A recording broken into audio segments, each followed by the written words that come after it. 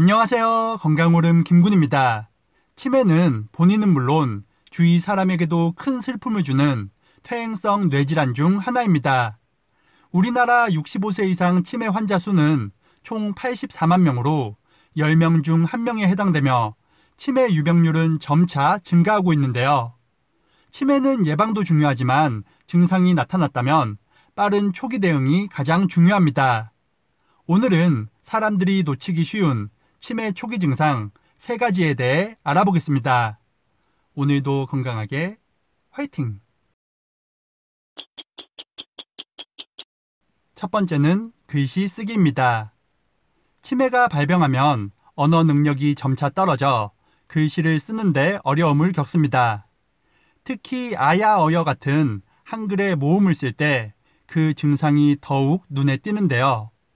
한림대 언어청각학부의 연구에 따르면 치매 환자들을 대상으로 실험한 결과 치매 환자는 건강한 사람에 비해 모음을 적을 때 3배 이상의 시간이 더 걸렸다고 밝혔습니다. 글씨를 적을 때 모음 부분에서 유독 시간이 더 걸리거나 글자 전체를 적는 시간이 예전보다 많이 느려졌다면 치매를 의심해 볼 필요가 있습니다.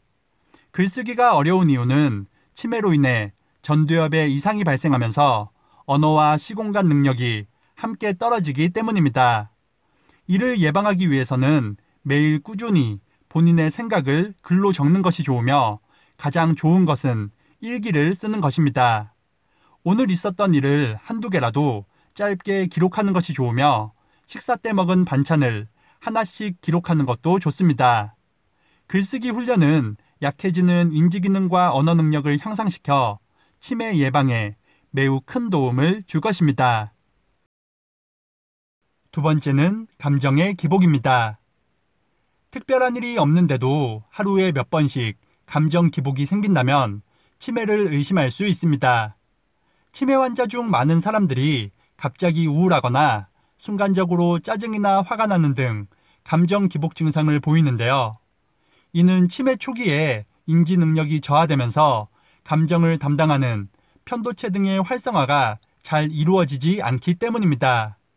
이런 이유로 평소 사람을 좋아하고 사교적인 성격의 사람이 외출을 꺼리거나 의욕이 저하되는 경우도 많습니다.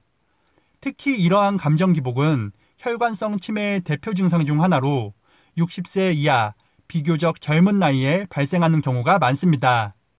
본인이나 주변 사람 중 평소와 다르게 사소한 일에도 짜증을 자주 내거나 갑작스러운 성격의 변화를 보인다면 병원을 방문하여 치매 검사를 받아보는 것이 좋겠습니다. 세 번째는 불필요한 사재기입니다.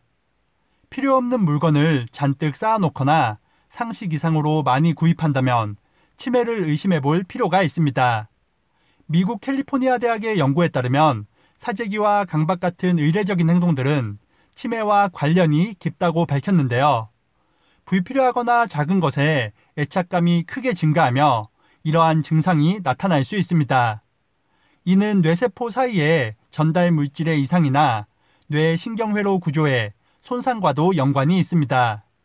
이런 작용은 전두엽과 같은 뇌 특정 부위의 정상적인 기능을 방해하여 충동 억제나 불안감 등으로 이어질 수 있습니다. 예를 들면 읽지 않는 신문을 매일 사서 집에 차곡차곡 쌓아둔다거나 다 쓰거나 고장난 물건을 버리지 않고 모으는 등의 행동입니다. 이와 비슷한 이유로 도벽이나 각종 법규 위반 등 사회적 규범을 어기는 증상도 있으니 참고하시기 바랍니다. 오늘은 사람들이 놓치기 쉬운 치매 초기 증상 3가지에 대해 알아봤습니다. 말씀드린 내용들을 잘 참고하셔서 나와 가족의 건강을 꼭 지키시길 바랍니다. 기존 영상 중 뇌 건강에 큰 도움을 주는 4가지 음식에 대한 영상도 있으니 댓글의 주소를 통해 같이 확인하시기 바랍니다. 오늘 영상이 도움이 되셨다면 구독과 좋아요 그리고 알람 설정도 부탁드립니다. 그럼 다음 영상에서 더 유익한 건강 정보로 인사드리겠습니다. 오늘 하루도 건강하세요.